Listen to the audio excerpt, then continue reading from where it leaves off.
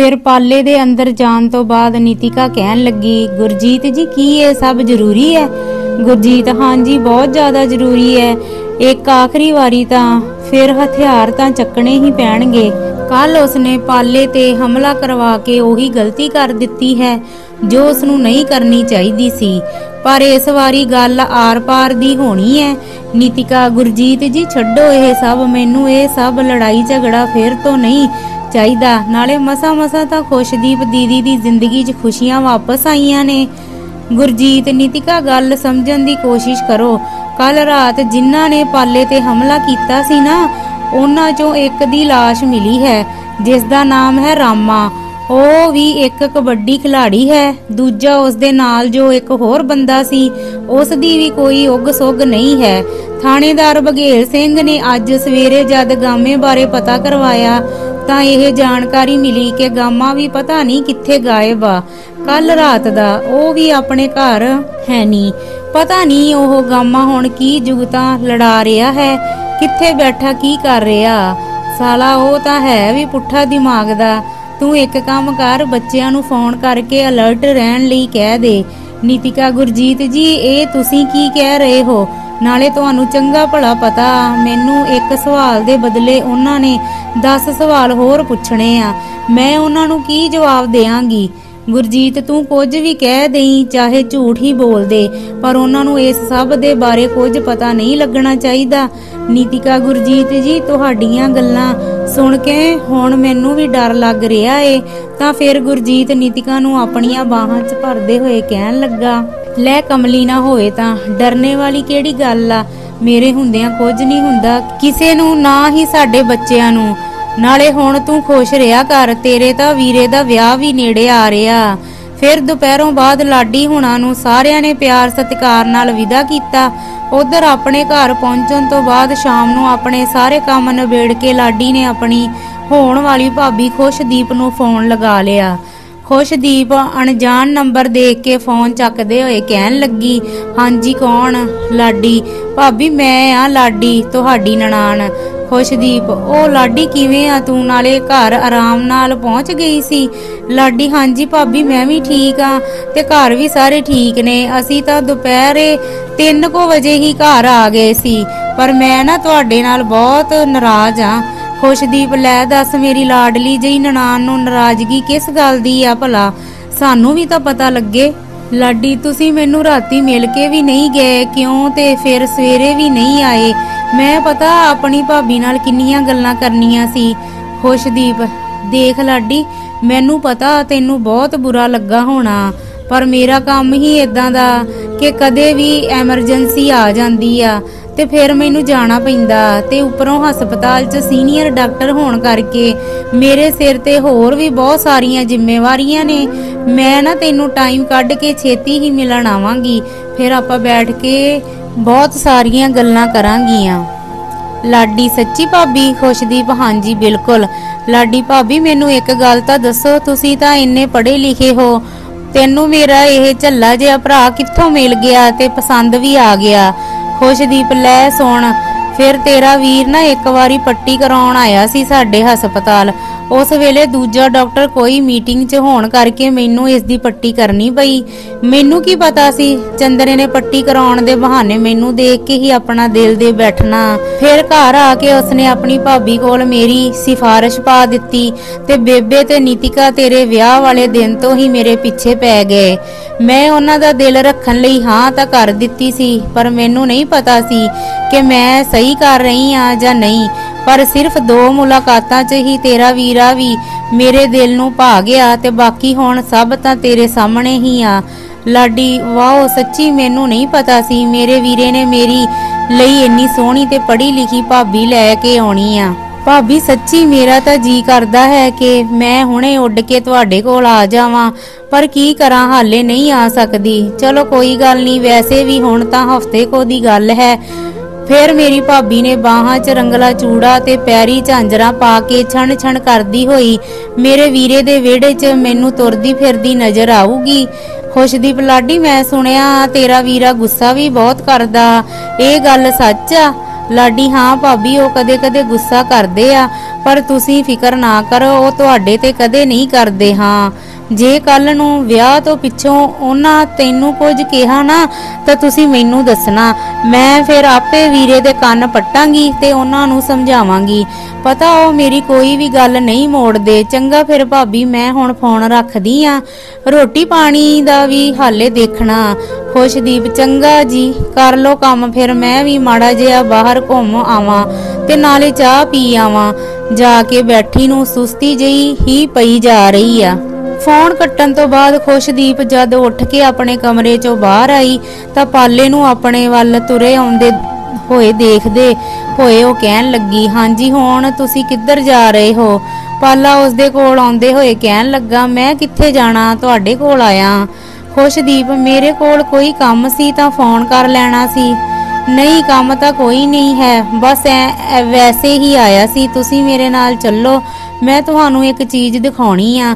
ਪਾਲਾ ਖੁਸ਼ਦੀਪ ਦਾ ਹੱਥ ਫੜ ਕੇ ਉਸ ਨੂੰ ਬਾਹਰ ਵੱਲ ਨੂੰ ਜਾਣ ਲਈ ਇਸ਼ਾਰਾ ਕਰਨ ਲੱਗਾ ਖੁਸ਼ਦੀਪ, ਤੁਸੀਂ ਇੱਕ ਮਿੰਟ ਰੁਕੋ ਤਾਂ ਸਹੀ। ਥੋੜਾ ਜਿਹਾ ਸਬਰ ਵੀ ਕਰੋ, ਮੈਂ ਸਿਰ ਉੱਤੇ ਚੁੰਨੀ ਤਾਂ ਸਹੀ ਕਰਕੇ ਲੈ ਲਵਾਂ। ਫਿਰ ਆਪਣੇ ਸਿਰ ਉੱਤੇ ਚੁੰਨੀ ਸਹੀ ਕਰਕੇ ਲੈ ਕੇ ਖੁਸ਼ਦੀਪ ਪਾਲੇ ਦਾ ਹੱਥ ਫੜਦੇ ਹੋਏ ਕਹਿਣ ਲੱਗੀ, ਹਾਂਜੀ, ਹੁਣ ਚੱਲੋ, ਆਪਾਂ ਕਿੱਥੇ ਜਾਣਾ? ਫਿਰ ਪਾਲਾ ਤੇ ਖੁਸ਼ਦੀਪ ਜਦ ਦੋਵੇਂ ਹਸਪਤਾਲ ਤੋਂ ਬਾਹਰ ਆਏ ਤਾਂ ਪਾਲਾ ਖੁਸ਼ਦੀਪ ਨੂੰ ਜੀਪ ਕੋਲ ਲਿਆ ਕੇ ਕਹਿਣ ਲੱਗਾ, ਹਾਂਜੀ, ਕਿੱਦਾਂ ਲੱਗੀ ਫਿਰ? ਤਾਂ ਖੁਸ਼ਦੀਪ ਖੁਸ਼ ਹੁੰਦੇ ਹੋਏ ਕਹਿਣ ਲੱਗੀ, ਹਾਏ, ਤੁਸੀਂ ਨਵੀਂ ਜੀਪ ਵੀ ਲੈ ਲਈ ਤੇ ਮੈਨੂੰ ਦੱਸਿਆ ਤੱਕ ਵੀ ਨਹੀਂ ਇਦਾਂ ਕਿਉਂ? ਪਾਲਾ, ਮੈਂ ਥੋੜਾ ਲਈ ਆ, ਭਾਬੀ ਨੇ ਗਿਫਟ ਕੀਤੀ ਆ, ਸਾਡੇ ਵਿਆਹ ਦੀ ਖੁਸ਼ੀ 'ਚ ਸੋਹਣੀ ਹੈ ਨਾ? ਖੁਸ਼ਦੀਪ, ਹਾਂਜੀ, ਬਹੁਤ ਹੀ ਜ਼ਿਆਦਾ ਸੋਹਣੀ ਹੈ। ਤੁਸੀਂ ਤਾਂ ਮੂੰਹ ਮਿੱਠਾ ਕਰਾਉਣ ਲਈ ਵੀ ਕੁਝ ਨਹੀਂ ਲੈ ਕੇ ਆਏ। ਫਿਰ ਉਹ ਗੱਡੀ ਤੇ ਸੀਟ ਤੇ ਬੈਠਦੀ ਹੋਈ ਕਹਿਣ ਲੱਗੀ, ਹਾਂਜੀ, ਹੁਣ ਚਾਬੀ ਵੀ ਦਿਓ, ਮੈਂ ਚਲਾ ਕੇ ਦੇਖਣੀ ਆ। ਪਾਲਾ, ਲੈ, ਐਵੇਂ ਕਿਵੇਂ? ਮੇਰਾ ਤਾਂ ਹਾਲੇ ਇਸ ਨੂੰ ਚਲਾਉਣ ਦਾ ਚਾਹ ਵੀ ਪੂਰਾ ਨਹੀਂ ਹੋਇਆ ਤੇ ਤੁਸੀਂ ਚਾਬੀ ਮੰਗ ਰਹੇ ਹੋ? ਖੁਸ਼ਦੀਪ, ਪਲਵਿੰਦਰ ਜੀ ਇਦਾਂ ਕਿਉਂ ਕਰਦੇ ਹੋ ਯਾਰ?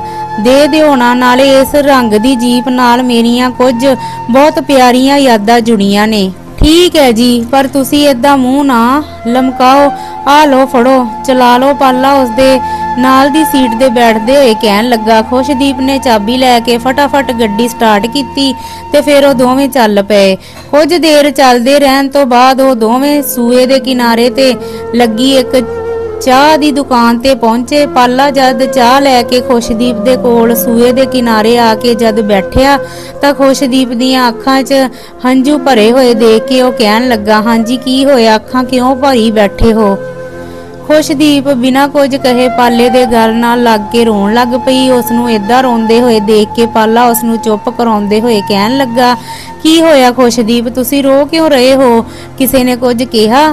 ਖੁਸ਼ਦੀਪ ਨੇ ਨਾਚ 'ਚ ਸਿਰ ਹਿਲਾਇਆ, ਫਿਰ ਐਵੇਂ ਕਿਉਂ ਰੋ ਰਹੇ ਹੋ? ਕੋਈ ਗੱਲ ਹੈ ਤਾਂ ਮੈਨੂੰ ਦੱਸੋ।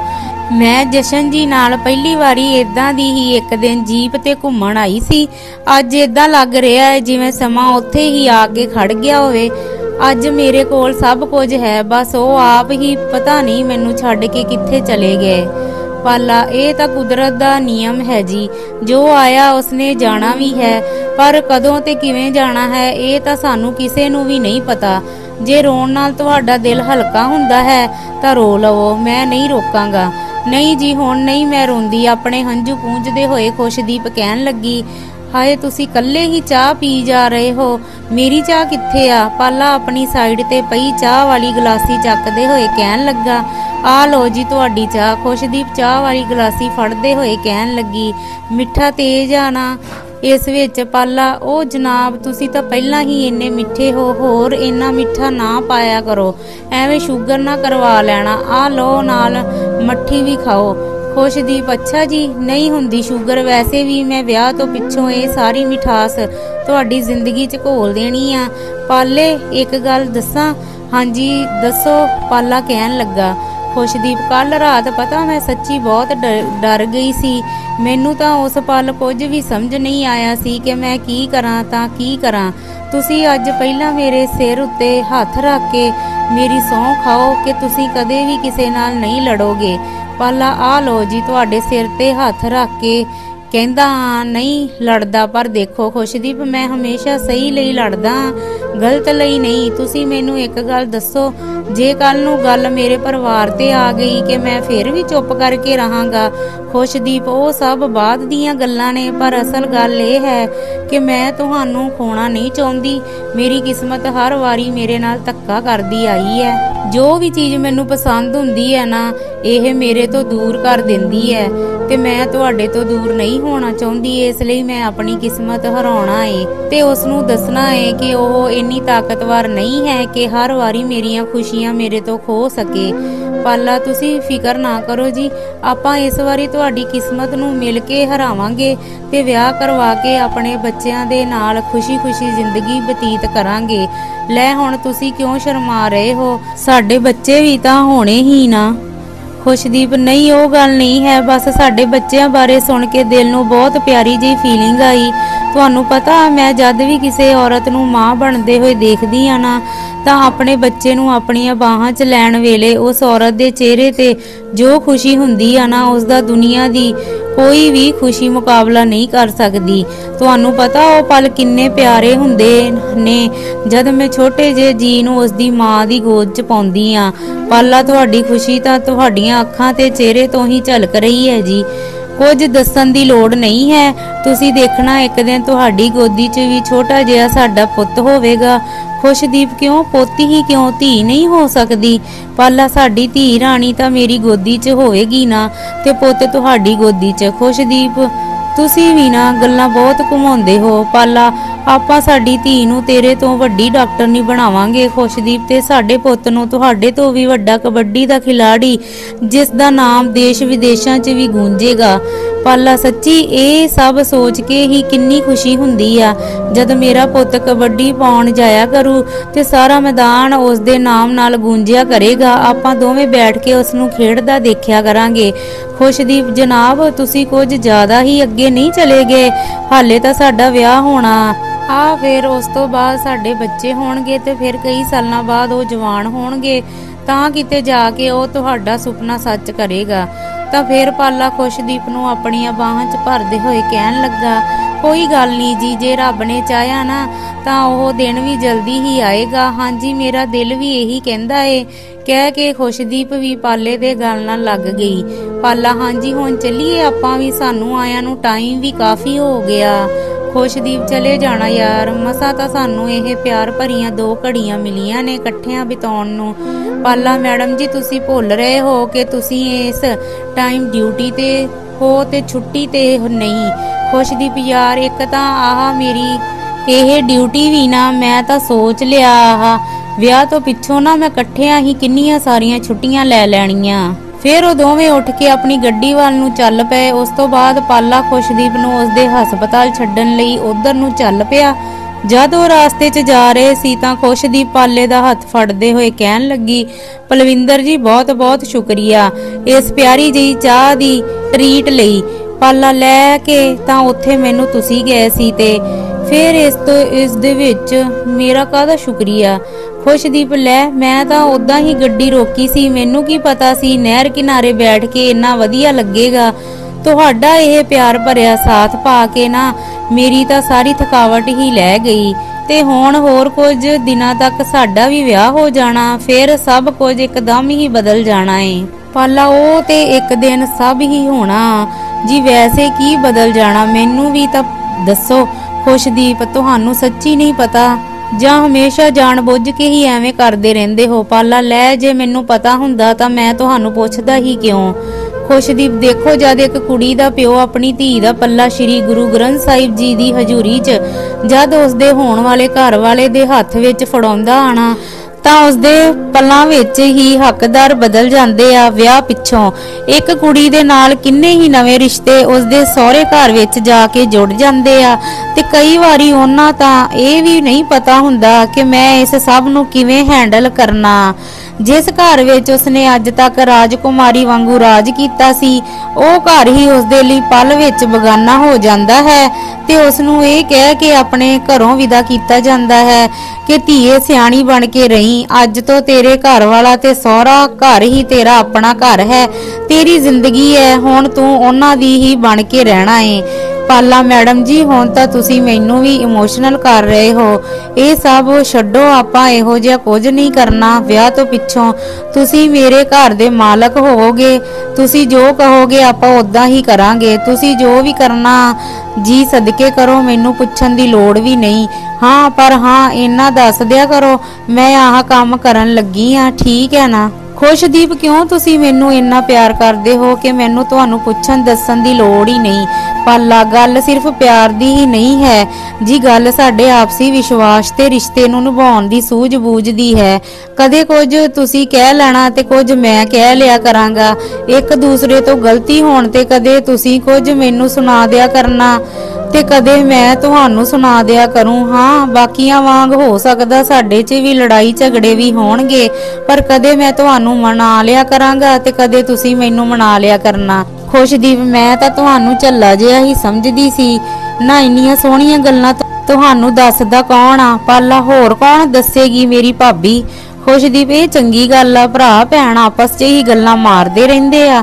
ਮੈਨੂੰ ਵੀ ਕਦੇ ਆਪਣੀਆਂ ਗੱਲਾਂ ਬਾਤਲ, ਬਾਤਾਂ 'ਚ ਸ਼ਾਮਲ ਕਰ ਲਿਆ ਕਰੋ।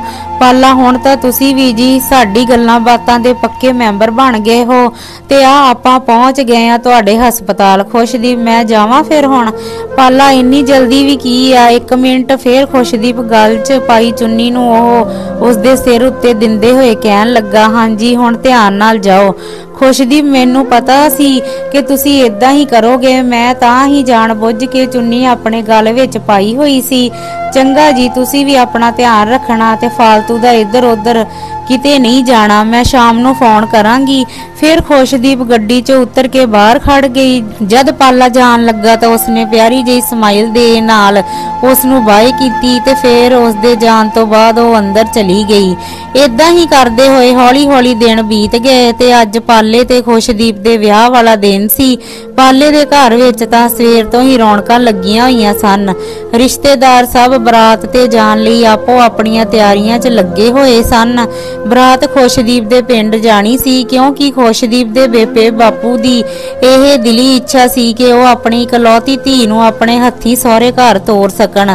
ਸਵੇਰੇ ਸਵੇਰੇ ਪਾਲੇ ਨੂੰ ਨਹਾ ਧੋਆ ਕੇ ਤਿਆਰ ਕਰਕੇ ਕੁਰਸੀ ਤੇ ਬਿਠਾ ਕੇ ਸਲਾਮੀਆਂ ਪਾਈਆਂ ਗਈਆਂ। ਉਸ ਤੋਂ ਬਾਅਦ ਨੀਤਿਕਾ ਨੇ ਸੁਰਮਾ ਪਾਈ ਦੀ ਰਸਮ ਕੀਤੀ ਤੇ ਫਿਰ ਉਸ ਤੋਂ ਬਾਅਦ ਸਾਰੇ ਮੱਥਾ ਟੇਕਣ ਲਈ ਗੁਰੂ ਘਰ ਨੂੰ ਚੱਲ ਪਏ। ਗੁਰੂ ਘਰ ਮੱਥਾ ਟੇਕਣ ਤੋਂ ਬਾਅਦ ਫਿਰ ਸਾਰੀ ਬਰਾਤ ਖੁਸ਼ਦੀਪ ਦੇ ਪਿੰਡ ਵੱਲ ਨੂੰ ਚੱਲ ਪਏ। ਸਾਢੇ ਕੋ 10 ਵਜੇ ਨੂੰ ਬਰਾਤ ਖੁਸ਼ਦੀਪ ਦੇ ਪਿੰਡ ਪਹੁੰਚ ਗਈ। ਸਾਰੇ ਪਰਿਵਾਰ ਦੇ ਪਿੰਡ ਵਾਲਿਆਂ ਵੱਲੋਂ ਬਰਾਤੀਆਂ ਦਾ ਨਿੱਘਾ ਸਵਾਗਤ ਕੀਤਾ ਗਿਆ।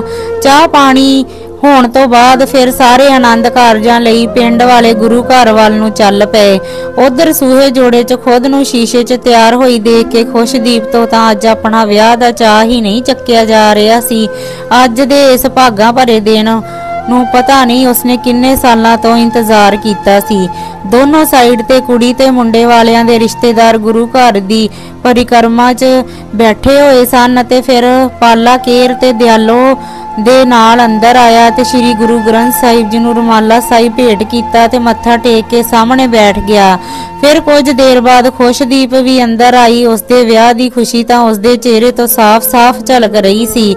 ਸ੍ਰੀ ਗੁਰੂ ਗ੍ਰੰਥ ਸਾਹਿਬ ਜੀ ਨੂੰ ਰੁਮਾਲਾ ਸਾਹਿਬ ਭੇਟ ਕਰਨ ਤੋਂ ਬਾਅਦ ਮੱਥਾ ਟੇਕ ਕੇ ਉਹ ਪਾਲੇ ਦੇ ਖੱਬੇ ਹੱਥ ਬੈਠ ਗਈ।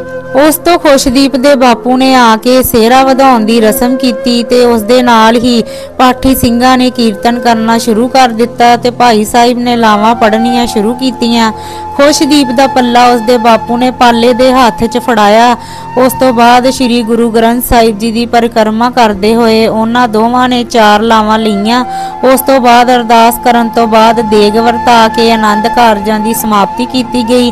ਫਿਰ ਸਾਰੇ ਖੁਸ਼ਦੀਪ ਦੇ ਘਰ ਵੱਲ ਨੂੰ ਚੱਲ ਪਏ। ਸਾਰੇ ਬਰਾਤੀਆਂ ਨੂੰ ਰੋਟੀ ਪਾਣੀ ਛਕਾਇਆ ਗਿਆ ਤੇ ਸ਼ਾਮ ਨੂੰ ਖੁਸ਼ਦੀਪ ਨੂੰ ਸਭ ਨੇ ਭਰੀਆਂ ਅੱਖਾਂ ਨਾਲ ਵਿਦਾ ਕੀਤਾ। ਫਿਰ ਸ਼ਾਮ ਨੂੰ 5:00 ਵਜੇ ਨੂੰ ਕੇਰ ਹੋਣੀ ਪਾਲੇ ਨੂੰ ਵਿਆਹ ਕੇ ਉਸਦੇ ਘਰ ਪਹੁੰਚ ਦਿਆਲੋ ਨੇ ਨਵੀਂ ਵਿਆਹੀ ਜੋੜੀ ਦੇ ਸਿਰ ਉੱਤੋਂ ਪਾਣੀ ਵਾਰਨੇ ਦੀ ਰਸਮ ਕੀਤੀ ਤੇ ਫਿਰ ਉਹਨਾਂ ਨੂੰ ਅੰਦਰ ਕਮਰੇ 'ਚ ਜ਼ਮੀਨ ਤੇ ਵਿਛਾਏ ਗੱਦਿਆਂ ਤੇ ਬਿਠਾ ਕੇ ਬਾਕੀ ਦੇ ਸ਼ਗਨ ਵਿਹਾਰ ਕੀਤੇ ਗਏ। ਸ਼ਾਮ ਨੂੰ 7 ਕੋ ਵੱਜਦੇ ਨੂੰ ਪਿੰਡ ਦੀਆਂ ਆਂਢ ਗੁਆਂਢ ਵਾਲੀਆਂ ਚਾਚੀਆਂ ਤਾਈਆਂ ਵੀ ਪਾਲੇ ਦੀ ਵੋਟੀ ਨੂੰ ਦੇਖਣ ਆਈਆਂ ਤੇ ਸ਼ਗਨ ਪਿਆਰ ਦੇ ਕੇ ਚਲੀਆਂ ਗਈਆਂ। ਰਾਤ ਹੋਣ ਤੱਕ ਸਾਰੇ ਮਹਿਮਾਨ ਤਾਂ ਆਪੋ ਆਪਣੇ ਘਰਾਂ ਨੂੰ ਚਲੇ ਗਏ ਸਨ। ਹੁਣ ਘਰ ਵਿੱਚ ਖਾਸ ਹੀ ਮਹਿਮਾਨ ਸਨ। ਫਿਰ ਰਾਤ ਦੇ 9:00 ਵਜੇ ਪਾਲਾ ਆਪਣੇ ਕਮਰੇ 'ਚ ਆਇਆ। ਖੁਸ਼ਦੀਪ ਘੁੰਡ ਕੱਢੀ ਬੈੱਡ ਤੇ ਉੱਤੇ ਬੈਠੀ ਹੋਈ ਸੀ। ਪਾਲਾ ਦਰਵਾਜ਼ਾ ਬੰਦ ਕਰਕੇ ਆ ਕੇ ਖੁਸ਼ਦੀਪ ਦੇ ਕੋਲ ਬੈਠਦੇ ਹੋਏ ਕਹਿਣ ਲੱਗਾ, ਖੁਸ਼ਦੀਪ ਜੀ ਖੁਸ਼ਦੀਪ ਜੀ, ਹਾਂਜੀ। ਪਾਲਾ ਮੈਂ ਤੁਹਾਡਾ ਘੁੰਡ ਚੱਕ ਲਵਾਂ। ਮੇਰਾ ਨਾਂ ਬਹੁਤ ਦਿਲ ਕਰ ਰਿਹਾ ਤੁਹਾਨੂੰ ਦੇਖਣ ਨੂੰ। ਅੱਜ ਤੁਸੀਂ ਤਿਆਰ ਹੋ ਕੇ ਇੰਨੇ ਸੋਹਣੇ ਲੱਗ ਰਹੇ ਸੀ ਕਿ ਮੈਂ ਕੀ ਦੱਸਾਂ। ਮੈਂ ਤਾਂ ਤੁਹਾਨੂੰ ਚੰਗੀ ਤਰ੍ਹਾਂ ਦੇਖ ਵੀ ਨਹੀਂ ਸਕਿਆ। ਖੁਸ਼ਦੀਪ ਘੁੰਡ ਤਾਂ ਚੱਕਣ ਨੂੰ ਹੀ ਕੀਤਾ ਜਾਂਦਾ, ਸਰਦਾਰ ਜੀ। ਹੁਣ ਮੈਂ ਤੁਹਾਡੀ ਪਤਨੀ ਆ। ਮੇਰੇ ਤੇ ਤੁਹਾਡਾ ਪੂਰਾ ਹੱਕ ਹੈ। ਇਦਾਂ ਹਰ ਕੰਮ ਲਈ ਤੁਸੀਂ ਮੈਨੂੰ ਪੁੱਛਿਆ ਨਾ ਕਰੋ। ਪਾਲਾ ਨਾਲੇ ਕਹਿੰਦੇ ਹੁੰਦੇ ਆ, ਸੁਹਾਗ ਰਾਤ ਤੇ ਪਹਿਲਾ ਮੂੰਹ ਦਿਖਾਈ ਦਿੱਤੀ ਜਾਂਦੀ ਆ, ਫਿਰ ਘੁੰਡ ਚੱਕਿਆ ਜਾਂਦਾ। ਖੁਸ਼ਦੀਪ ਜੀ, ਨਹੀਂ, ਮੈਨੂੰ ਕਿਸੇ ਵੀ ਚੀਜ਼ ਦੀ ਲੋੜ ਨਹੀਂ ਹੈ। ਅੱਜ ਤੁਸੀਂ ਮੈਨੂੰ ਮਿਲ ਗਏ। ਤਾਂ ਇੰਜ ਲੱਗਦਾ ਜਿਵੇਂ ਸਾਰੇ ਜਹਾਨ ਦੀਆਂ ਖੁਸ਼ੀਆਂ ਮੈਨੂੰ ਮਿਲ ਗਈਆਂ ਹੋਣ। ਹੁਣ ਤੁਸੀਂ ਘੁੰਡ ਚੱਕ ਕੇ ਆਪਣੀ ਖੁਸ਼ਦੀਪ ਦਾ ਜੀ ਭਰ ਕੇ ਦੀਦਾਰ ਕਰ ਸਕਦੇ ਹੋ। ਫਿਰ ਪਾਲੇ ਨੇ ਜਦ ਖੁਸ਼ਦੀਪ ਦਾ ਘੁੰਡ ਚੱਕਿਆ ਤਾਂ ਉਸ ਦੇ ਚਿਹਰੇ ਵੱਲ ਦੇਖਦੇ ਹੋਏ ਕਹਿਣ ਲੱਗਾ, ਮੈਨੂੰ ਨਹੀਂ ਪਤਾ ਸੀ ਕਿ ਤੁਸੀਂ ਵਿਆਹ ਵਾਲੇ ਜੋੜੇ 'ਚ ਇੰਨੇ ਸੋਹਣੇ ਤੇ ਪਿਆਰੇ ਲੱਗੋਗੇ। ਫਿਰ ਖੁਸ਼ਦੀਪ ਪਾਲੇ ਵੱਲ ਦੇਖਦੇ ਹੋਏ ਕਹਿਣ ਲੱਗੀ, ਤੁਸੀਂ ਵੀ ਕਿਹੜਾ ਅੱਜ ਕੋਟ ਪੈਂਟ 'ਚ ਘੱਟ ਸੋਹਣੇ ਲੱਗ ਰਹੇ ਸੀ ਜੀ? ਫਿਰ ਬਾਹਰੋਂ ਕਿਸੇ ਨੇ ਕਮਰੇ ਦਾ ਦਰਵਾਜ਼ਾ ਖੜਕਾਇਆ ਤਾਂ ਜਦ ਪਾਲੇ ਨੇ ਆ ਕੇ ਦਰਵਾਜ਼ਾ ਖੋਲ੍ਹਿਆ ਤਾਂ ਸਾਹਮਣੇ ਲਾਡੀ ਹੱਥ ਵਿੱਚ ਰੋਟੀ ਵਾਲਾ ਥਾਲ ਫੜੀ ਖੜੀ ਕਹਿਣ ਲੱਗੀ, ਵੀਰੇ ਭਾਬੀ ਨੇ ਰੋਟੀ ਭੇਜੀ ਆ ਤੁਹਾਡੇ ਲਈ, ਤੁਸੀਂ ਵੀ ਖਾ ਲੈਣਾ। ਫਿਰ ਪਾਲੇ ਨੂੰ ਰੋਟੀ ਵਾਲਾ ਥਾਲ ਫੜਾ ਕੇ ਲਾਡੀ ਵਾਪਸ ਚਲੀ ਗਈ। ਜਦ ਦਰਵਾਜ਼ਾ ਬੰਦ ਕਰਕੇ ਜਦ ਪਾਲਾ ਵਾਪਸ ਆ ਕੇ ਬੈਠਾ ਤਾਂ ਖੁਸ਼ ਦੀ ਪਰ ਰੋਟੀ ਵੱਲ ਦੇਖਦੇ ਹੋਏ ਕਹਿਣ ਲੱਗੀ ਸ਼ਾਹੀ ਪਨੀਰ ਮੈਨੂੰ ਬਹੁਤ ਪਸੰਦ ਹੈ। ਚਲੋ ਨਾ ਪਲਵਿੰਦਰ ਜੀ, ਆਪਾਂ ਪਹਿਲਾਂ ਹੁਣ ਰੋਟੀ ਖਾਂਦੇ ਆ ਨਾਲੇ ਮੈਨੂੰ ਭੁੱਖ ਵੀ ਬਹੁਤ ਲੱਗੀ ਆ। ਪਾਲਾ ਤੁਸੀਂ ਖਾਓ ਜੀ, ਮੈਂ ਤਾਂ ਪਹਿਲਾਂ ਹੀ ਖਾ ਲਈ ਸੀ। ਖੁਸ਼ਦੀਪ, ਪਹਿਲਾਂ ਹੀ ਖਾ ਲਈ, ਇਹ ਕੀ ਗੱਲ ਹੋਈ ਭਲਾ? ਤੁਸੀਂ ਰੋਟੀ ਖਾ ਵੀ ਲਈ, ਉਹ ਮੇਰੇ ਤੋਂ ਬਗੈਰ ਕੱਲੇ ਹੀ ਇਦਾਂ ਕਿਵੇਂ? ਮੈਂ ਸ਼ਾਮ ਦੀ ਭੁੱਖੀ ਬੈਠੀ ਆ, ਇਸ ਉਡੀਕ 'ਚ ਕਿ ਪਲਵਿੰਦਰ ਜੀ ਦੇ ਨਾਲ ਹੀ ਰਾਤ ਨੂੰ ਰੋਟੀ ਖਾਊਂਗੀ। ਚਲੋ ਠੀਕ ਹੈ ਫਿਰ ਮੈਂ ਵੀ ਨਹੀਂ ਖਾਣੀ। ਤੁਸੀਂ ਖਾ ਲਈ ਤਾਂ ਸਮਝ ਲਓ ਮੈਂ ਵੀ ਖਾ ਲਈ। ਫਿਰ ਜਦ ਖੁਸ਼ਦੀਪ ਨਾਰਾਜ਼ ਹੋ ਕੇ ਪੈਣ ਲੱਗੀ, ਤਾਂ ਪਾਲੇ ਨੇ ਉਸ ਦੀ ਬਾਹ ਫੜ ਕੇ ਉਸ ਨੂੰ ਆਪਣੇ ਵੱਲ ਖਿੱਚਦੇ ਹੋਏ ਕਹਿਣ ਲੱਗਾ, ਲੈ, ਉਹ ਮੈਂ ਤਾਂ ਮਜ਼ਾਕ ਕਰਦਾ ਸੀ। ਮੇਰੀ ਚੂੜੇ ਵਾਲੀ ਤਾਂ ਲੱਗਦਾ ਮੂੰਹ ਫੁਲਾ ਕੇ ਬੈਠ ਗਈ। ਤੈਨੂੰ ਪਤਾ ਯਾਰ, ਮੈਨੂੰ ਵੀ ਬਹੁਤ ਭੁੱਖ ਲੱਗੀ ਆ। ਖੁਸ਼ ਦੀ ਫਿਰ ਤੁਸੀਂ ਇਦਾਂ ਦੀ ਗੱਲ ਹੀ ਕਿਉਂ ਕੀਤੀ? ਮੈਨੂੰ ਤਾਂ ਸੱਚੀ ਹੀ ਲੱਗਾ। ਨਾ, ਆ ਲਓ, ਮੈਂ ਬੈਠ ਗਈ। ਕਰੋ ਫੇਰ ਹੁਣ ਸ਼ੁਰੂ। ਹੁਣ ਮੇਰੇ ਵੱਲ ਕਿਉਂ ਦੇਖ ਰਹੇ ਹੋ? ਚਲੋ ਖਾਓ ਹੁਣ ਰੋਟੀ। ਪਾਲਾ, ਮੈਂ ਆਪਣੀ ਚੂੜੇ ਵਾਲੀ ਦੇ ਹੱਥੋਂ ਖਾਣੀ ਆ। ਖੁਸ਼ਦੀਪ, ਅੱਛਾ ਜੀ। ਆ ਲੋ ਫਿਰ ਆਪਣੇ ਚੂੜੇ ਵਾਲੀ ਦੇ ਹੱਥੋਂ ਰੋਟੀ ਖਾਓ। ਬੁਰਕੀ ਤੋੜ ਕੇ ਪਾਲੇ ਦੇ ਮੂੰਹ ਵਿੱਚ ਪਾਉਂਦੇ ਹੋਏ ਕਹਿਣ ਲੱਗੀ। ਪਾਲਾ, ਰੋਟੀ ਖਾਂਦੇ ਹੋਏ ਕਹਿਣ ਲੱਗਾ, ਵਾਹ ਜੀ ਵਾਹ, ਅੱਜ ਤਾਂ ਗੋਰੇ ਗੋਰੇ ਹੱਥਾਂ ਨਾਲ ਰੋਟੀ ਖਾਣ ਦਾ ਸੱਚੀ ਮਜ਼ਾ ਹੀ ਆ ਗਿਆ। ਫਿਰ ਖੁਸ਼ਦੀਪ ਹੱਸਦੇ ਹੋਏ ਕਹਿਣ ਲੱਗੀ, ਅੱਛਾ ਜੀ, ਤੁਸੀਂ ਇਕੱਲੇ ਹੀ ਸਵਾਦ ਲਈ ਜਾ ਰਹੇ ਹੋ। ਮੈਨੂੰ ਵੀ ਰੋਟੀ ਖਵਾਓ ਨਾ ਫਿਰ। ਫਿਰ ਪਾਲੇ ਨੇ ਰੋਟੀ ਦੀ ਬੁਰਕੀ ਤੋੜ ਕੇ ਸਬਜ਼ੀ ਲਗਾ ਕੇ ਖੁਸ਼ਦੀਪ ਨੂੰ ਖਵਾਉਂਦੇ ਹੋਏ ਕਹਿਣ ਲੱਗਾ, ਹਾਂਜੀ, ਕਿਵੇਂ ਲੱਗੀ ਫਿਰ? ਖੁਸ਼ਦੀਪ ਰੋਟੀ ਬਹੁਤ ਬਹੁਤ ਜ਼ਿਆਦਾ ਸਵਾਦ ਆ। ਫਿਰ ਇਦਾਂ ਹੀ ਉਹਨਾਂ ਨੇ ਗੱਲਾਂ ਕਰਦੇ ਹੋਏ ਰੋਟੀ ਖਾਧੀ ਤੇ ਉਸ ਤੋਂ ਬਾਅਦ ਖੁਸ਼ਦੀਪ ਉੱਠ ਕੇ ਕੱਪੜੇ ਬਦਲਣ ਲਈ ਚਲੀ ਗਈ। ਕੁਝ ਦੇਰ ਬਾਅਦ ਖੁਸ਼ਦੀਪ ਵੀ ਆ ਕੇ ਪਾਲੇ ਦੇ ਨਾਲ ਕੰਬਲ 'ਚ ਲੁਕ ਕੇ ਬੈੱਡ ਤੇ ਢੋ ਲਗਾ ਕੇ ਉਸ ਦੇ ਨਾਲ ਬੈਠ ਗਈ। ਖੁਸ਼ਦੀਪ, ਹਾਂਜੀ, ਹੁਣ ਤੁਸੀਂ ਇੰਨੇ ਗੌਰ ਨਾਲ ਮੇਰੇ ਵੱਲ ਦੇਖ ਰਹੇ ਹੋ, ਤਾਂ ਪਾਲਾ ਫਿਰ ਉਸ ਦੇ ਸਿਰ ਤੇ ਪਿੱਛੇ ਆਪਣੀ ਬਾਹ ਰੱਖਦੇ ਹੋਏ ਕਹਿਣ ਲੱਗਾ, ਯਾਰ, ਸੱਚੀ ਮੈਂ ਕਦੇ ਸੋਚਿਆ ਵੀ ਨਹੀਂ ਸੀ ਮੇਰੇ ਲੇਖਾਂ 'ਚ ਰੱਬ ਨੇ ਇੰਨੀ ਪੜ੍ਹੀ ਲਿਖੀ, ਕੁੜੀ ਦਾ ਸਾਥ ਲਿਖਿਆ। ਕਿੱਥੇ ਮੈਂ 8ਵੀਂ ਫੇਲ ਬੰਦਾ ਤੇ ਕਿੱਥੇ ਤੁਸੀਂ ਡਾਕਟਰ ਬੰਦੇ?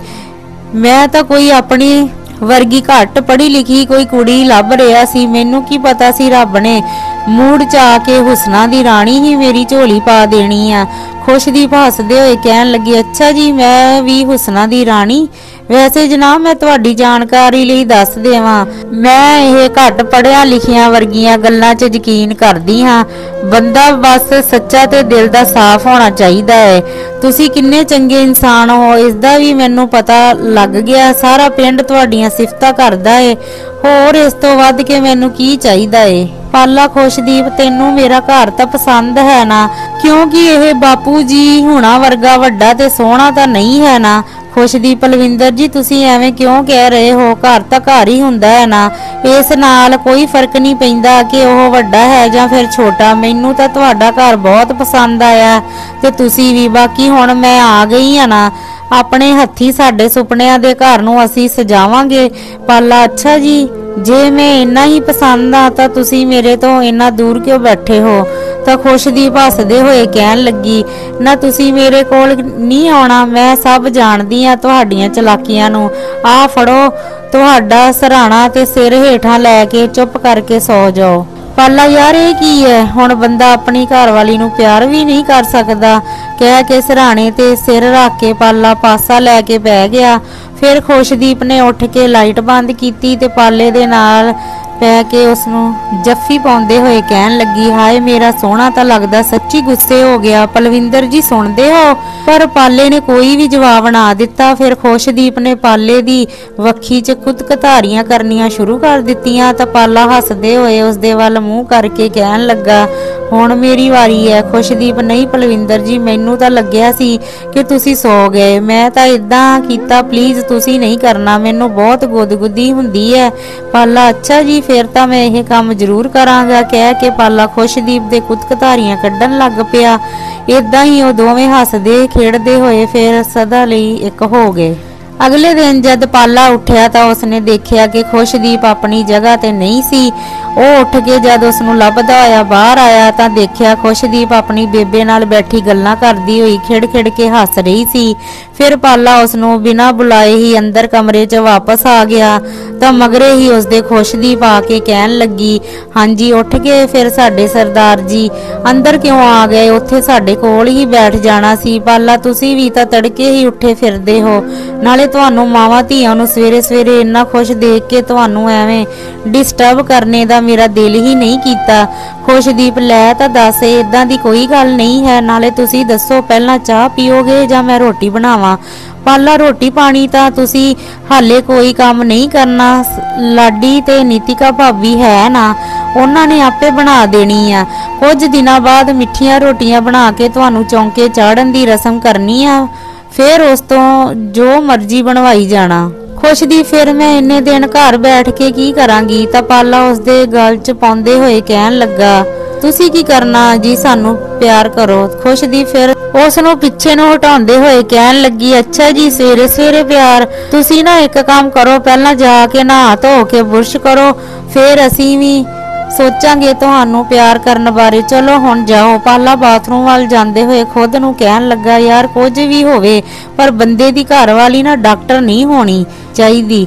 ਬੰਦੇ ਦਾ ਅੱਧਾ ਦਿਨ ਤਾਂ ਸਾਫ਼ ਸਫ਼ਾਈ 'ਚ ਹੀ ਨਿਕਲ ਜਾਂਦਾ। ਉਸ ਦੇ ਪਿੱਛੇ ਖੜੀ ਖੁਸ਼ਦੀਪ ਹੱਸਦੇ ਹੋਏ ਕਹਿਣ ਲੱਗੀ, ਮੈਂ ਖੜੀ ਸੁਣ ਰਹੀ ਆ ਸਭ ਕੁਝ, ਨਾਲੇ ਆਪਣਾ ਤੌਲੀਆ ਤਾਂ ਲੈਂਦੇ ਜਾਓ। ਫਿਰ ਪਾਲੇ ਨੂੰ ਤੌਲੀਆ ਫੜਾ ਕੇ ਖੁਸ਼ਦੀਪ ਰਸੋਈ ਵੱਲ ਨੂੰ ਚਲੀ ਗਈ। ਤਾਂ ਲਾਡੀ ਆਟਾ ਗੁੰਨਦੇ ਹੋਏ ਦੇਖ ਕੇ ਉਸ ਦੇ ਕੋਲ ਆ ਕੇ ਕਹਿਣ ਲੱਗੀ, ਲਾਡੀ, ਦਾਲ ਸਬਜੀ 'ਚ ਕੀ ਬਣਾਇਆ? ਲਾ- ਲਾਡੀ, ਭਾਬੀ ਮਾਂ ਦੀ ਦਾਲ ਬਣਾਈ ਆ। ਬਸ ਤੜਕਾ ਲਗਾਉਣ ਵਾਲਾ। ਕੀ ਹੋਇਆ? ਤੁਸੀਂ ਸਵੇਰੇ ਸਵੇਰੇ ਉੱਠ ਕੇ ਰਸੋਈ 'ਚ ਆ ਗਏ। ਪਏ ਰਹਿਣਾ ਸੀ। ਕਿਤੇ ਤੁਹਾਨੂੰ ਭੁੱਖ ਹੀ ਤਾਂ ਨਹੀਂ ਲੱਗੀ? ਖੁਸ਼ਦੀਪ, ਨਹੀਂ ਯਾਰ, ਮੈਨੂੰ ਤਾਂ ਵੈਸੇ ਵੀ ਜ਼ਿਆਦਾ ਦੇਰ ਬਿਸਤਰ ਤੇ ਪਈ ਰਹਿਣ ਦੀ ਆਦਤ ਨਹੀਂ ਹੈ। ਤਾਂ ਕਰਕੇ ਮੈਂ ਜਲਦੀ ਉੱਠ ਜਾਂਦੀ ਹੁੰਦੀ ਆ। ਪਰ ਤੁਸੀਂ ਇੱਥੇ ਕੀ ਕਰੋਗੇ? ਤੁਸੀਂ ਜਾ ਕੇ ਬੇਬੇ ਬਾਪੂ ਹੁਣਾਂ ਕੋਲ ਬੈਠ ਜਾਓ। ਖੁਸ਼ਦੀਪ, ਨਹੀਂ ਮੈਂ ਇੱਥੇ ਹੀ ਠੀਕ ਆ। ਇਹਨੇ ਨੂੰ ਨੀਤਿਕਾ ਰਸੋਈ ਚ ਆਉਂਦੇ ਹੋਏ ਕਹਿਣ ਲੱਗੀ, ਲਾਡੀ ਕੀ ਕਰੀ ਜਾਂਦੀ ਆ? ਛੇਤੀ ਕਰ ਰੋਟੀ ਬਣਾ, ਤੇਰੇ ਸੱਸ ਸਹੁਰਾ ਤਾਂ ਵਾਪਸ ਜਾਣ ਨੂੰ ਤਿਆਰ ਖੜੇ ਆ। ਲਾਡੀ, ਬਸ ਭਾਬੀ ਗੁੰਨ ਲਿਆ ਆਟਾ, ਮੈਂ ਹੁਣੇ ਰੋਟੀ ਲਾ ਦਿੰਦੀ ਆ। ਤੁਸੀਂ ਤੜਕਾ ਲਗਾ ਦਿਓ ਦਾਲ ਨੂੰ। ਨੀਤਿਕਾ ਦੀਦੀ, ਤੁਸੀਂ ਕਿਉਂ ਰਸੋਈ 'ਚ ਆ ਗਏ? ਆਪਣੇ ਕਮਰੇ 'ਚ ਹੀ ਬੈਠੇ ਰਹਿਣਾ ਸੀ। ਜੇ ਬੇਬੇ ਨੇ ਦੇਖ ਲਿਆ ਨਾ, ਤਾਂ ਉਹ ਸਾਨੂੰ ਬੋਲਣਗੇ ਕਿ ਅਸੀਂ ਤੁਹਾਨੂੰ ਕੰਮ ਤੇ ਵੀ ਚੜਾ ਦਿੱਤਾ। ਖੁਸ਼ਦੀਪ, ਕੋਈ ਨਹੀਂ, ਕੁਝ ਕਹਿੰਦਾ। ਤੁਸੀਂ ਆਪਣਾ ਕੰਮ ਕਰ ਲਵੋ, ਮੈਂ ਤਾਂ ਬਸ ਖੜੀ ਦੇਖ ਰਹੀ ਆ। ਫਿਰ ਨੀਤਿਕਾ ਨੇ ਫਟਾਫਟ ਦਾਲ ਨੂੰ ਤੜਕਾ ਲਗਾਇਆ। ਉਦੋਂ ਤੱਕ ਰੋਟੀ ਵੀ ਬਣ ਗਈ ਸੀ। ਨੀਤਿਕਾ ਨੇ ਕੋਲੀਆਂ 'ਚ ਦਾਲ ਪਾਈ ਤੇ ਨਾਲ ਥਾਲ 'ਚ ਪੌਣੇ ਦੇ ਵਿੱਚ ਲਪੇਟ ਕੇ ਰੋਟੀਆਂ ਰੱਖੀਆਂ। ਫਿਰ ਲਾਡੀ ਦੇ ਸੱਸ ਸਹੁਰੇ ਨੂੰ ਰੋਟੀ ਦੇਣ ਚਲੀ ਗਈ। ਫਿਰ ਉਹਨਾਂ ਦਾ ਰੋਟੀ ਪਾਣੀ ਹੋਣ ਤੋਂ ਬਾਅਦ ਕੇਰ ਹੁਣਾ ਨੇ ਪਿਆਰ ਸਤਿਕਾਰ ਨਾਲ ਸੁਰਜੀਤ ਤੇ ਉਸਦੇ ਬੇਬੇ ਬਾਪੂ ਹੁਣਾ ਨੂੰ ਵਿਦਾ ਕੀਤਾ। ਉਸ ਤੋਂ ਬਾਅਦ ਨੀਤਿਕਾ ਤੇ ਲਾਡੀ ਨੇ ਬਾਕੀ ਸਾਰਿਆਂ ਨੂੰ ਰੋਟੀ ਪਾਣੀ ਖਵਾਇਆ। ਉਸ ਤੋਂ ਕੇਰ ਤੇ ਗੁਰਜੀਤ ਤਾਂ ਸ਼ਹਿਰ ਕਿਸੇ ਕੰਮ ਲਈ ਚਲੇ ਗਏ। ਫਿਰ ਅਗਲੇ ਦਿਨ ਕੇਰ ਹੁਣੀ ਵੀ ਵਾਪਸ ਆਪਣੇ ਪਿੰਡ ਆ ਗਏ। ਪਾਲੇ ਦੇ ਕੋਲ ਦਿਆਲੋ ਤੇ ਲਾਡੀ ਹੁਣੀ ਰਹਿ ਗਏ ਸਨ। ਜਦ ਕੁਝ ਦਿਨਾਂ ਬਾਅਦ ਖੁਸ਼ਦੀਪ ਨੇ ਮਿੱਠੀਆਂ ਰੋਟੀਆਂ ਬਣਾ ਕੇ ਉਸ ਨੂੰ ਖਵਾਈਆਂ ਤੇ ਫਿਰ ਆਪਣਾ ਚੁੱਲ੍ਹਾ ਚੌਂਕਾ ਵੀ ਸਾਂਭ ਲਿਆ। ਫਿਰ ਸ਼ਾਮ ਨੂੰ ਆਪਣੇ ਘਰ ਨੂੰ ਜਾਣ ਵੇਲੇ ਨੀਤਿਕਾ ਤੇ ਗੁਰਜੀਤ ਪਾਲੇ ਹੋਣਾ ਦੇ ਕਮਰੇ 'ਚ ਆਏ ਤੇ ਬੈਠਦੇ ਹੋਏ ਨੀਤਿਕਾ ਕਹਿਣ ਲੱਗੀ, ਦੀਦੀ ਆ ਲੋ ਤੁਹਾਡੇ ਵਿਆਹ ਦਾ। ਸਾਡੇ ਦੋਨਾਂ ਵੱਲੋਂ ਤੋਹਫਾ ਕਹਿ ਕੇ ਇੱਕ ਕਾਗਜ਼ ਦਾ ਲਿਫਾਫਾ ਉਸ ਦੇ ਵੱਲ ਵਧਾਇਆ। ਖੁਸ਼ਦੀਪ, ਇਸ ਵਿੱਚ ਕੀ ਹੈ? ਨੀਤਿਕਾ, ਤੁਸੀਂ ਖੋਲ ਕੇ ਦੇਖੋ ਤਾਂ ਸਹੀ। ਫਿਰ ਜਦ ਖੁਸ਼ਦੀਪ ਨੇ ਉਸ ਨੂੰ ਲਿਫਾਫੇ ਨੂੰ ਖੋਲ੍ਹਿਆ ਤਾਂ ਉਸ ਦੇ ਵਿੱਚ ਜਹਾਜ਼ ਦੀਆਂ ਟਿਕਟਾਂ ਦੇਖਦੇ ਹੋਏ ਕਹਿਣ ਲੱਗੀ, ਇਹ ਤਾਂ ਜਹਾਜ਼ ਦੀਆਂ ਟਿਕਟਾਂ ਟਿਕਟਾਂ ਨੇ। ਤੁਸੀਂ ਦੋਵੇਂ ਕਿਤੇ ਜਾ ਰਹੇ ਹੋ? ਗੁਰਜੀਤ, ਅਸੀਂ ਕਿੱਥੇ ਜਾਣਾ? ਜੀ, ਹੁਣ ਤਾਂ ਸਾਡੀ ਘੁੰਮਣ ਘੁਮਾਉਣ ਦੀ ਉਮਰ ਵੀ ਲੰਘ ਗਈ। ਸਾਨੂੰ ਤਾਂ ਕਬੀਲਦਾਰੀਆਂ ਹੀ ਸਾਹ ਨਹੀਂ ਲੈਣ ਦਿੰਦੀਆਂ। ਤੁਸੀਂ ਦੋਵੇਂ ਜਾ ਰਹੇ ਹੋ ਲੰਡਨ ਘੁੰਮਣ ਲਈ। ਨਾਲੇ ਬੱਚਿਆਂ ਨੂੰ ਵੀ ਮਿਲ ਲੈਣਾ, ਉਹ ਵੀ ਖੁਸ਼ ਹੋ ਜਾਣਗੇ। ਖੁਸ਼ਦੀਪ, ਲੈ ਤਾਂ ਦੱਸ, ਇਸ ਸਭ ਦੀ ਕੀ ਲੋੜ ਸੀ? ਜੇ ਘੁੰਮਣ ਹੀ ਜਾਣਾ ਸੀ ਤਾਂ ਅਸੀਂ ਕਿਤੇ ਨੇੜੇ ਹੀ ਚਲੇ ਜਾਣਾ ਸੀ। ਨੀਤਿਕਾ, ਦੀਦੀ ਛੋਟੀ ਜਿਹੀ ਤਾਂ ਇਹ ਜ਼ਿੰਦਗੀ ਹੈ, ਨਾਲੇ ਸਾਰੀ ਉਮਰ ਕੰਮ ਹੀ ਕਰਨਾ। ਤੁਸੀਂ ਬਸ ਜਾਓ ਤੇ ਘੁੰਮੋ ਫਿਰੋ। ਜਰਾ ਬਾਹਰ ਨਿਕਲ ਕੇ ਤਾਂ ਦੇਖੋ, ਇਹ ਦੁਨੀਆ ਕਿੰਨੀ ਸੋਹਣੀ ਤੇ ਰੰਗ ਬਿਰੰਗੀ ਹੈ। ਜੇ ਨਹੀਂ ਯਕੀਨ ਤਾਂ ਪਾਲੇ ਨੂੰ ਪੁੱਛੋ। ਇਹ ਵੀ ਤਾਂ ਇੱਕ ਦੋ ਵਾਰੀ ਬਾਹਰ ਦਾ ਗੇੜਾ ਲਾ ਕੇ ਹੀ ਆਇਆ। ਬਾਕੀ ਤੁਸੀਂ ਕੋਈ ਫਿਕਰ ਨਾ ਕਰਨਾ। ਮੈਂ ਸਾਰਾ ਇੰਤਜ਼ਾਮ ਕਰ ਦਿੱਤਾ। ਬਸ ਹੁਣ ਤੁਸੀਂ ਆਪਣੇ ਜਾਣ ਦੀ ਤਿਆਰੀ ਕਰੋ। ਪਰਸੋਂ ਰਾਤ ਦੀ ਫਲਾਈਟ ਆ, ਚੰਗਾ, ਫਿਰ ਹੁਣ ਅਸੀਂ ਵੀ ਘਰ ਨੂੰ ਚੱਲਦੇ ਆਂ। ਜੇ ਕਿਸੇ ਚੀਜ਼ ਦੀ ਲੋੜ ਹੋਈ ਨਾ, ਤਾਂ ਮੈਨੂੰ ਫੋਨ ਕਰ ਲੈਣਾ। ਨੀਤਿਕਾ ਤੇ ਗੁਰਜੀਤ ਖੜੇ ਹੁੰਦੇ ਹੋਏ ਕਹਿਣ ਲੱਗੇ, ਉਸ ਤੋਂ ਨੀਤਿਕਾ ਤੇ ਗੁਰਜੀਤ ਆ ਕੇ ਆਪਣੀ ਗੱਡੀ 'ਚ ਬੈਠ ਕੇ ਆਪਣੇ ਘਰ ਵੱਲ ਨੂੰ ਚੱਲ ਪਏ। ਉਹਨਾਂ ਦੇ ਜਾਣ ਤੋਂ ਬਾਅਦ ਖੁਸ਼ਦੀਪ ਕਹਿਣ ਲੱਗੀ, ਤੁਹਾਨੂੰ ਪਹਿਲਾਂ ਹੀ ਪਤਾ ਸੀ ਨਾ ਸਾਡੇ ਬਾਹਰ ਘੁੰਮਣ ਜਾਣ ਦੇ ਪ੍ਰੋਗਰਾਮ ਬਾਰੇ ਤਾਂ। ਤੁਸੀਂ ਨੀਤਿਕਾ ਨੂੰ ਮਨਾ ਕਿਉਂ ਨਹੀਂ ਕੀਤਾ? ਐਵੇਂ ਇੰਨਾ ਖਰਚਾ ਕਰਨ ਦੀ ਕੀ ਲੋੜ ਸੀ? ਪਾਲਾ ਮੈਨੂੰ ਸੱਚੀ ਇਸ ਬਾਰੇ ਕੁਝ ਨਹੀਂ ਪਤਾ ਸੀ। ਜੇ ਪਤਾ ਹੁੰਦਾ ਵੀ ਤਾਂ ਮੇਰੇ ਮਨਾ ਕਰਨ ਨਾਲ ਉਹਨਾਂ ਨੇ ਕਿਹੜਾ ਮੰਨ ਜਾਣਾ ਸੀ। ਖੁਸ਼ਦੀ ਮੈਨੂੰ ਇਹ ਕੰਮ ਬਿਲਕੁਲ ਚੰਗਾ ਨਹੀਂ ਲੱਗਾ। ਕਿਸੇ ਦਾ ਐਵੇਂ ਫालतू ਖਰਚਾ ਕਰਾਉਣਾ ਪਾਲਾ ਲੈ ਤਾਂ ਫਿਰ ਉਹ ਹੁਣ ਮੈਂ ਫੋਨ ਕਰਕੇ ਭਾਬੀ ਨੂੰ ਮਨਾ ਕਰ ਦੇਵਾਂ ਕਿ ਤੁਹਾਡੀ ਭੈਣ ਤਾਂ ਜਾਣ ਤੋਂ ਮਨਾ ਕਰ ਰਹੀ ਆ। ਖੁਸ਼ਦੀਪ ਲੈ ਨਹੀਂ ਕਹਿ, ਰਹਿਣ ਦਿਓ, ਮੈਨੂੰ ਪਤਾ ਹੁਣ ਜੇ ਮੈਂ ਮਨਾ ਕਰਤਾ ਨਾ ਤਾਂ ਨੀਤਿਕਾ ਦਾ ਦਿਲ ਟੁੱਟ ਜਾਣਾ, ਕਿਉਂਕਿ ਉਹ ਜਿਸ ਦਾ ਵੀ ਕਰਦੀ ਆ ਨਾ, ਹਮੇਸ਼ਾ ਦਿਲੋਂ ਕਰਦੀ ਆ, ਆਪਾਂ ਘੁੰਮਣ ਜਾਵਾਂਗੇ। ਇਸ ਕਹਾਣੀ ਦਾ ਅਗਲਾ ਭਾਗ ਤੁਹਾਡੇ ਲਈ ਕੱਲ ਨੂੰ ਪੇਸ਼ ਕੀਤਾ ਜਾਵੇਗਾ। ਕਿਰਪਾ ਕਰਕੇ ਸਾਡੇ ਚੈਨਲ ਨੂੰ ਸਬਸਕ੍ਰਾਈਬ ਜਰੂਰ ਕਰ ਲਵੋ ਅਤੇ ਵੀਡੀਓ ਨੂੰ ਲਾਈਕ ਅਤੇ ਸ਼ੇਅਰ ਕਰ ਦਵੋ ਅਤੇ ਇੱਕ ਵਧੀਆ ਜਿਹਾ, ਪਿਆਰਾ ਜਿਹਾ ਕਮੈਂਟ ਕਰਕੇ ਸਾਨੂੰ ਜਰੂਰ ਦੱਸਿਆ ਕਰੋ, ਇਹ ਕਹਾਣੀ ਤੁਹਾਨੂੰ ਕਿਸ ਤਰ੍ਹਾਂ ਦੀ ਲੱਗੀ? ਤੁਹਾਡਾ ਕੀਮਤੀ ਸਮਾਂ ਦੇਣ ਲਈ ਬਹੁਤ ਬਹੁਤ ਧੰਨਵਾਦ।